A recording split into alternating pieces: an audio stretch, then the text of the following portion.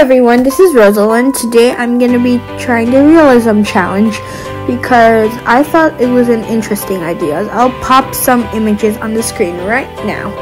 So these are some examples that I have done that I drew so and I thought it was fun. So today I'll be doing it in Procreate because Procreate is um has the best quality. All of those were done in notes because um I was just one day forgetting the password and I just did not want to go back on my computer and search up the password so I had to draw notes. So I, I kind of changed the outfit idea a few times until like this basic one.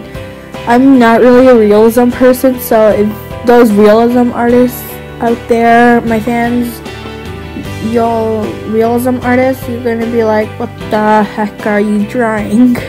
That's not even realism. That's I know I failed very badly. And also, along with realism challenge, I'm doing black and white challenge, which means I can only like sketch. I hate sketching because it's one of the um, harder things. I'm not really used to sketching because I usually use markers or colors in my usual drawings. So that's why this was a big challenge for me and I had to treat the shading like the colors, darker colors of my lighter colors. So yeah. And then I added this cool box and signed my name. Yay!